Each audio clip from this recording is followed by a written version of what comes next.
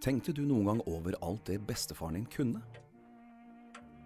Om historie, viktige personer, ja, om alle disse bøkene, gamle som nye. Vi er sikkert dobbelt så gamle som bestefaren din. Cappelen Dam. Fremst på bøker siden 1829.